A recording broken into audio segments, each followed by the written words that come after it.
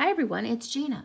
I was just going to show you some of the distinctions between the seedlings as they grow if you were interested or if you this year you were just starting out putting seedlings in and you don't know what they're uh, what to expect as they grow. I'll show you a few that I've started.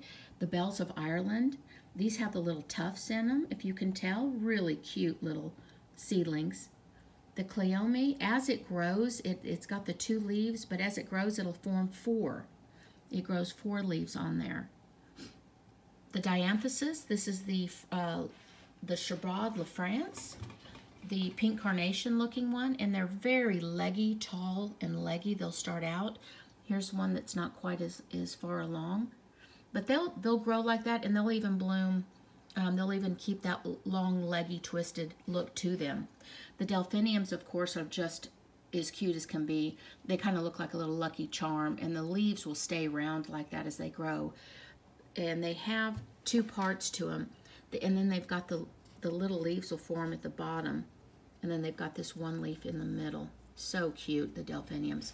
And these are red dianthuses, totally a different leaf, uh, different uh, uh, breed of, uh, of flower, and um, it'll also bloom totally different. The salvia, it's got corrugated leaves on it. A real pretty, real pretty uh, perennial. And of course the ornamental kale, look at that. That's just a frilly, frilly little thing. Grows really easy, comes up real easy, germinates very well. Here is a delphinium just starting to come up, and that's a good picture of it. If you're wondering if you're growing that. And um, the stalk, the stalk just comes up as such. Just a nice little leaf on it. Uh, real easy to germinate also.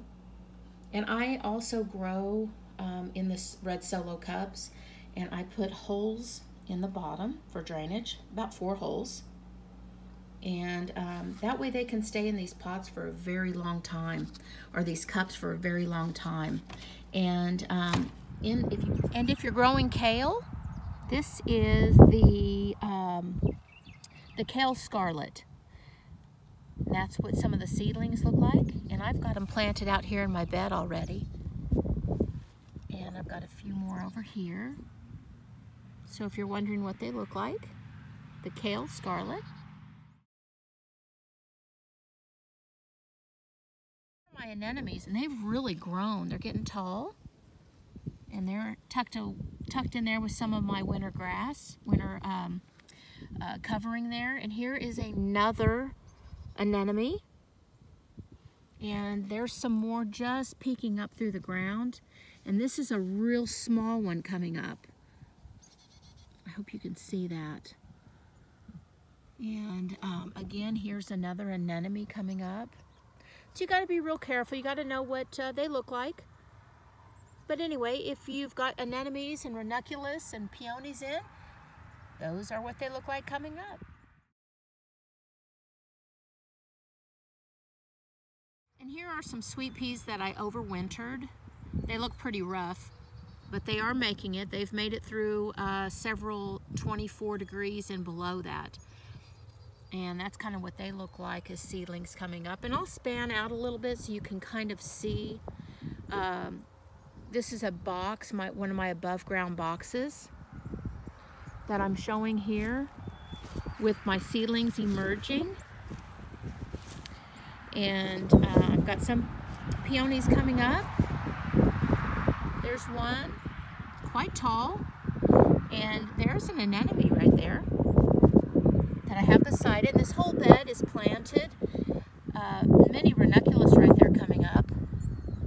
Another peony with a ranunculus tucked in. Another ranunculus there some more ranunculus along there and some uh, here is a, a ranunculus and then an anemone.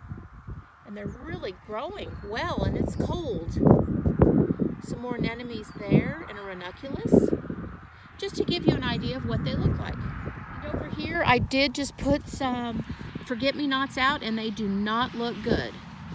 So uh, this is probably a mistake I made and they don't look well. They look like they uh, the freeze did not, it didn't freeze, but it did get cold. So they were not old enough to be put out yet. So you can't even get a good look at what they look like. Um, here's a group over here. Let's see if I can tell. These are forget-me-nots. And see, they must have been a little bit older. And um, I put them out too early, and I think I'll probably lose those. We'll just see. You know, you never know about Mother Nature. But this is one of the boxes. And these are the three boxes that I'm showing you right now. Gives you an idea. These boxes are really planted up. Um, I have them pretty full. Sorry about the traffic. It's it's pretty early in the morning. Everybody's headed to work, I guess, here. Um, but the boxes are filled with anemones, ranunculus, peonies, um, and uh, some tulips, some sweet peas, some really beautiful spring flowers. And these are the uh, apple blossom snapdragons that I seeded in, inside under my grow light back in December. And I just put these out just a few days ago. And this is the above ground box outside in the, the new fenced area uh, that you saw in that other video. Gives you an idea of that.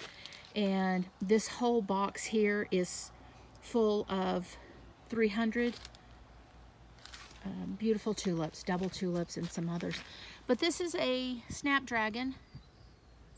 And I think that the the uh, the white or the uh, the light green in the leaves is um, it could be a lack of uh, calcium. I've never grown snapdragons from seed, so I'm not sure if that's normal or not.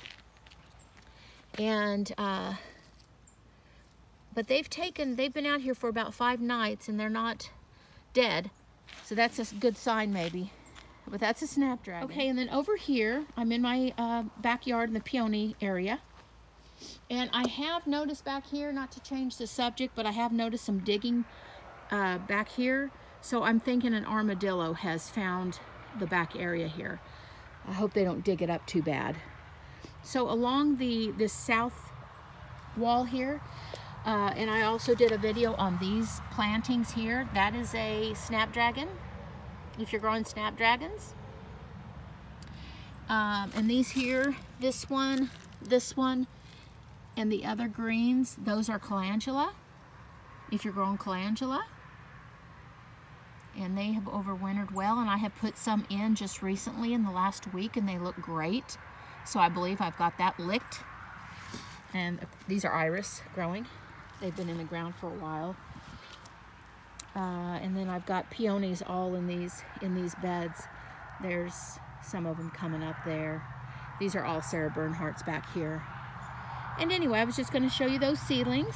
If you're growing calendula and snapdragons. And then over here I have put in, this is ornamental kale. The other one was uh, scarlet. This is ornamental. And I put several in and I have them a good two feet apart uh, because I don't know if they were going to survive or not. But this is the other, the other bed that I had, had built. And those are ornamental kale and really cute and ruffly. Very distinctive leaf on them. Hi, Chloe. Hi. They're purring. And I did have some sweet peas in here. Um, very, very close call on that. We'll see if it survives. The other one did not. The other one is, did not make it. So some make it, some don't. And I will put some more in and keep it going. But anyway, there's a few more seedlings and what they look like coming and up. These two here are actually bachelor buttons that I started at the end of November inside under a grow light and I just transferred them out here about a week ago. I did not acclimate them outside uh, to the cold weather. I just put them in and hoped for the best. And they are thriving. They are actually, uh, they have doubled in size.